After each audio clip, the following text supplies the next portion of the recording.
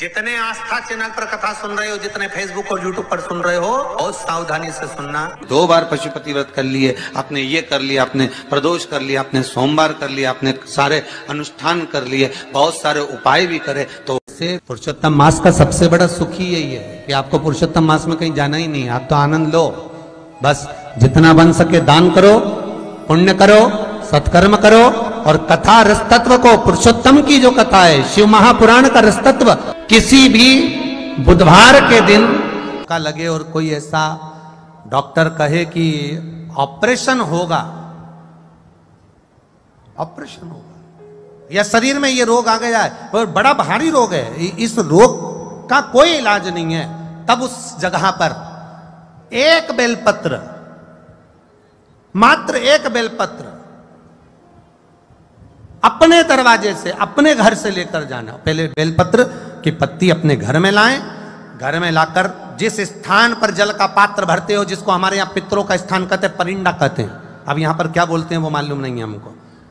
हमारे यहाँ परिंडा कहते हैं। परिंडा मतलब जहाँ जल भर कर रखते हैं, पानी भर कर रखते हैं, हंडा भर कर रखते हैं, बाल्टी भर कर रखते हैं। रसोई घर में जहाँ पानी भरते हो, भोजन बनाने के लिए, लोगों को पिलाने के लिए। आजकल तो वो डब्बा लग गया आरओ का तो लोग हंडा वंडा नहीं रखते। पर हमारा तो निवेदन है कि भले वो आरओ का डब्बा लग गया हो, भले वो डब्बा लग गया हो, पर हमारा निवेदन है कि एक छोटा सा हंडा, भले स्टील का, तांबे का, पीतल का या मिट्टी का, एक हंडा आपके पास में होना चाहिए, एक कहा डॉक्टर ने, रोग भारी है।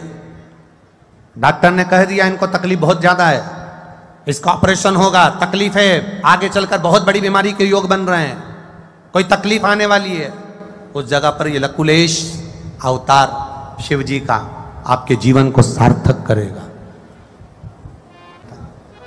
भगवान शिव के जितने नाम हैं, भगवान शंकर के जितने अवतार हैं भगवान शिव के जितना गुणगान है, भगवान शंकर के जितना स्वरूप है, ये सब शिव जी का जो नाम है, शंकर भगवान का जो स्मरण है, शंकर जी की जो नामा शैली है, ये सब कहीं ना कहीं हमारे लिए वो इंजेक्शन है जो हमारे जीवन की सार्थकता दे देता है। लकुलेश अवतार।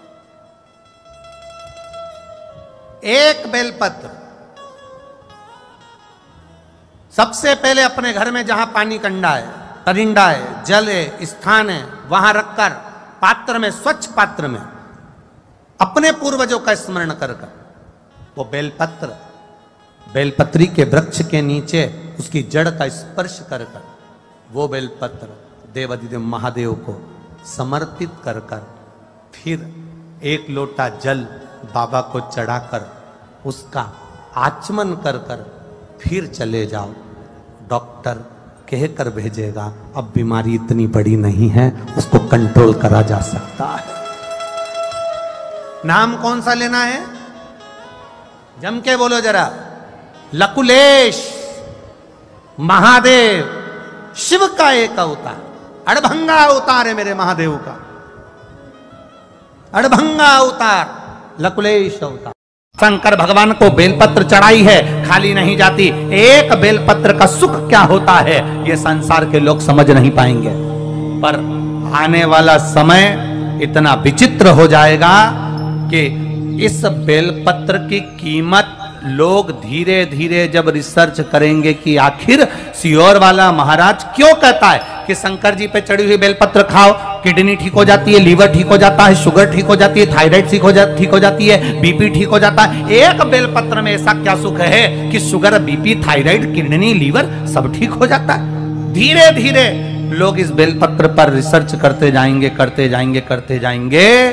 आने वाला समय ऐसा होगा कि लोग चाय की पत्ती को भी छोड़कर बेलपत्र लड़का लड़की का संबंध करने के लिए जा रहे हो संबंध नहीं हो रहा।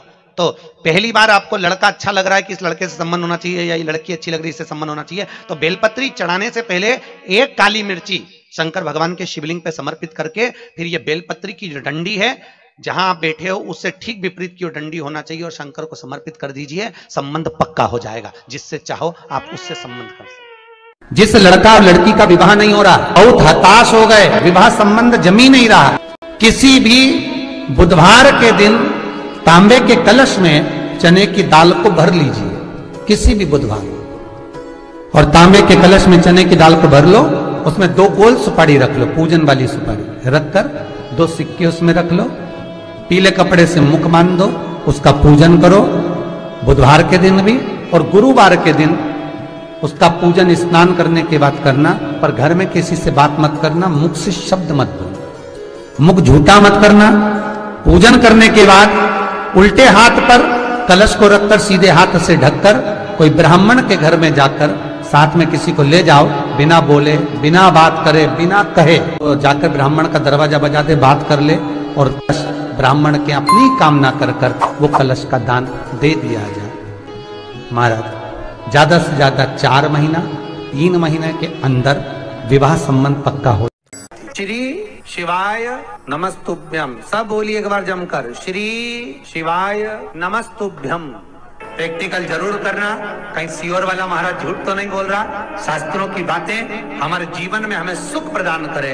इसलिए इस भाव का आनंद करते हुए आज की कथा को विराम देते हैं।